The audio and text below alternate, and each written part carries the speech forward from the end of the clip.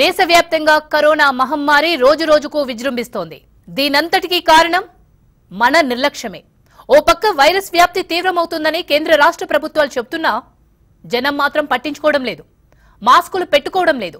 భౌతిక దూరం పాటించడం లేదు. అంతేకాదు కరోనా లక్షణాలున్నా కూడా స్వేచ్ఛగా రోడ్లపై తిరిగేస్తున్నారు. దీంతో రోజు రోజుకు కేసులు భారీగా పెరిగిపోతున్నాయి. కరోనా పట్ల నిర్లిప్తత ఉండడం పరీక్షలకు ప్రాధాన్యత ఇవ్వకపోవడం మహమ్మారి విజృంభిస్తోంది. ముఖ్యంగా సెకండ్ వేవ్లో ఎక్కువగా యువత కరోనా బారిన పడుతుండడం ఆందోళన కలిగిస్తోంది. ఇరవై నుంచి ముప్పై ఐదేళ్ళలోపు వారే వైరస్ బారిన పడుతున్నట్లు గుర్తించారు వైద్యులు. ఈ యువతీ యువకుల నిర్లక్ష్యం కారణంగా కుటుంబంలోని పెద్దవాళ్ళ ప్రాణాలకు ముప్పు ఏర్పడుతోంది. ఇలాగే నిర్లక్ష్యంగా ఉంటే కరోనా సెకండ్ వేవ్కు అనేక మంది బలికాక తప్పదని వార్నింగ్ ఇస్తున్నాయి కేంద్ర రాష్ట్ర ప్రభుత్వాలు.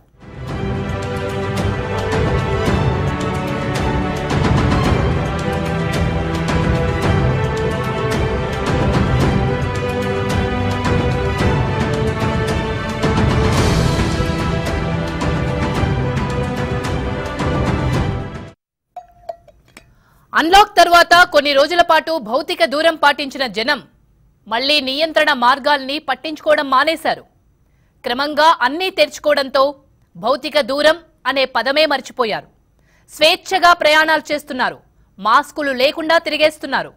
గతంలో ప్రయాణాల్లో మాస్కులు పెట్టుకొని భౌతిక దూరం పాటించేవారు. ప్రస్తుతం ఇలాంటి జాగ్రత్తలేవీ తీసుకోవడం లేదు. ఇక షాపింగ్ మాల్స్ సినిమా థియేటర్లు హోటల్స్ బార్లు రెస్టారెంట్లు జిమ్లు ఫిట్నెస్ సెంటర్లు ఇలా అన్నింటిలోనూ దాదాపు ఇదే పరిస్థితి.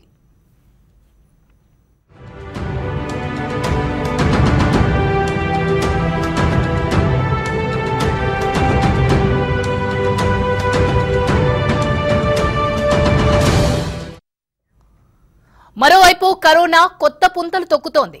కోవిడ్ బాధితుల్లో కొత్త లక్షణాలు కనిపిస్తుండటంతో ఆందోళన కలిగిస్తోంది. తలనొప్పి తీవ్ర నీరసం ఉన్నవారికి కరోనా పాజిటివ్ నిర్ధారణ అవుతోంది.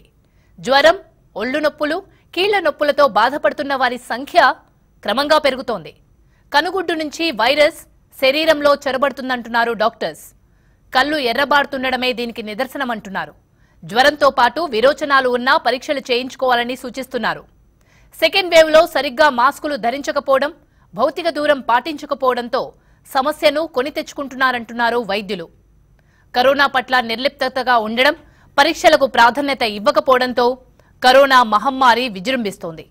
గతంలో ఒకరి నుంచి మరొకరికి వైరస్ వ్యాప్తి చెందేందుకు ఐదు నుంచి వారం రోజులు పట్టేది. కానీ ఇప్పుడు రెండు రోజులకే కరోనా లక్షణాలు కనిపిస్తున్నాయి.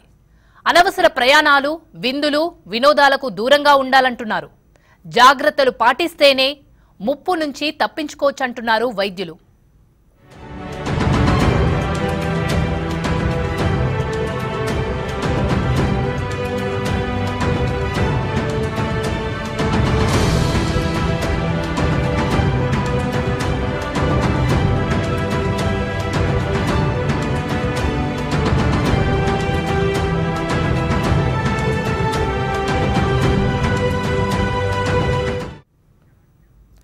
కరోనా వ్యాప్తిని అరికట్టాలంటే సమావేశాలు ఫంక్షన్లలో జనం ఎక్కువగా లేకుండా చూడాలి. పోలీసింగ్ సిస్టమ్ ద్వారా మాస్క్ లేని వారిపై ఫైన్ విధించాలి. కొన్ని దేశాల్లో ఇప్పటికే థర్డ్ వేవ్ కూడా ప్రారంభమైంది. ప్రస్తుతం మనం సెకండ్ వేవ్లోనే ఉన్నాం. లక్షణాలు లేకుండా కరోనా సోకిన వారు బయట తిరగడం వల్లే ఎక్కువ వ్యాప్తి అవుతోంది. మాస్క్ ఫేస్ షీల్డ్ శానిటైజర్ తప్పనిసరిగా వాడాలి. రద్దీ ప్రాంతాల్లో ఫిజికల్ డిస్టెన్స్ పాటించాలి. అప్పుడే కరోనాని కట్టడి చేయొచ్చంటున్నారు వైద్యులు.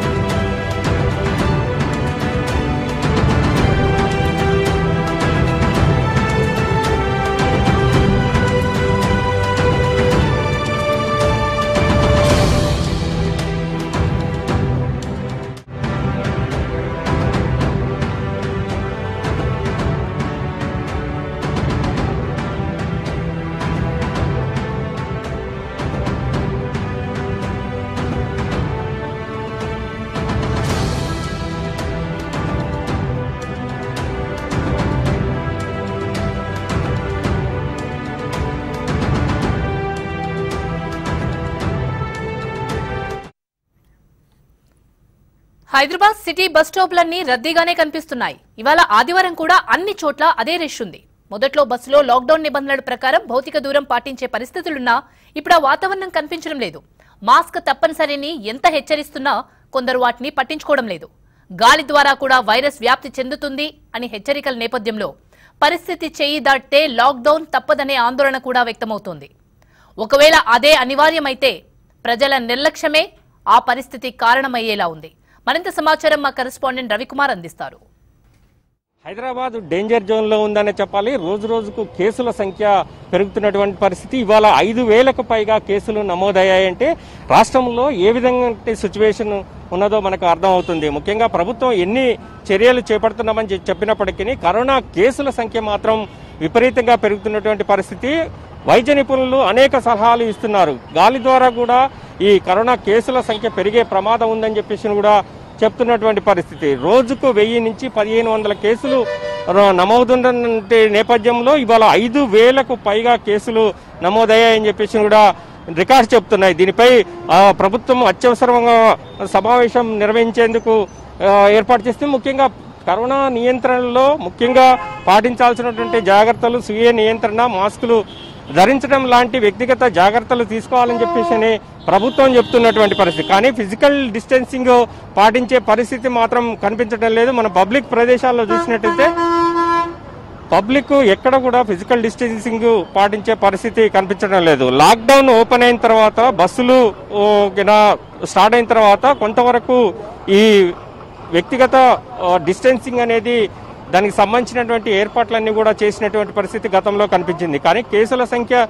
రోజు రోజుకు పెరుగుతున్నప్పటికీ ఇటు బస్సులలో కానీ లేదంటే పబ్లిక్ ప్రదేశాల్లో కానీ మార్కెట్లో కానీ ఏదైనా షాప్కి వెళ్ళినా కానీ ఫిజికల్ డిస్టెన్సింగ్ పాటించే పరిస్థితి మాత్రం కనిపించడం లేదు. సో దీనివల్లనే ఫిజికల్ డిస్టెన్సింగ్ పాటించకపోవడం వల్లనే కేసుల సంఖ్య రోజు రోజుకు పెరుగుతున్నటువంటి పరిస్థితి ఉన్నది. హైదరాబాదులో కేసుల సంఖ్య పెరగటానికి అత్యంత జనసమర్థం కలిగినటువంటి ప్రాంతం ఎక్కువగా రద్దీలు ఉండేటువంటి ప్రాంతం.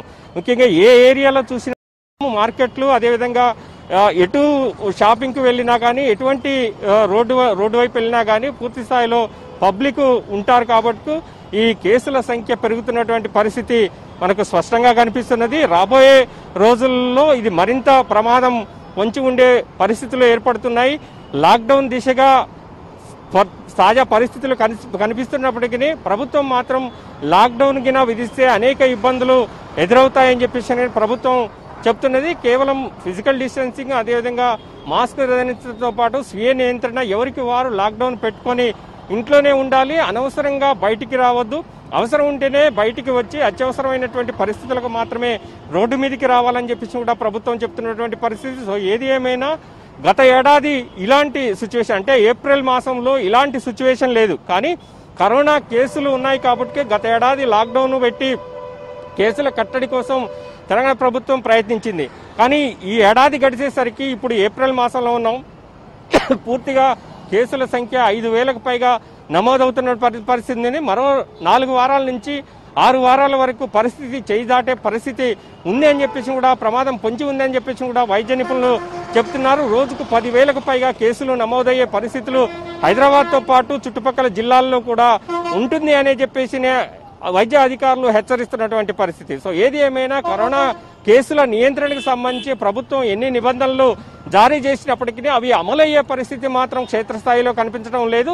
అందువలనే కేసుల సంఖ్య పెరుగుతున్నటువంటి పరిస్థితి రోజు రోజుకు కనిపిస్తున్నది. సో రాబోయే రోజుల్లో పబ్లిక్కే లాక్డౌన్ విధించుకొని స్వచ్ఛందంగా అవసరం ఉంటేనే రోడ్లపైకి వచ్చి అనవసరమైనటువంటి వ్యయ ప్రయాసాలకు ఓచుకోకుండా ముఖ్యంగా బయట నుంచి కరోనా అంటించుకొని ఇంట్లోకి పోయి ఇంట్లో ఇంట్లో ఉన్నటువంటి వ్యక్తి కుటుంబ సభ్యులందరికీ కూడా అంటించుకునే పరిస్థితి లేకుండా ఉండాలంటే ఎవరికి వారు జాగ్రత్తగా పాటించాలని చెప్పేసి కూడా ప్రభుత్వం చెప్తున్నటువంటి పరిస్థితి ఉన్నది.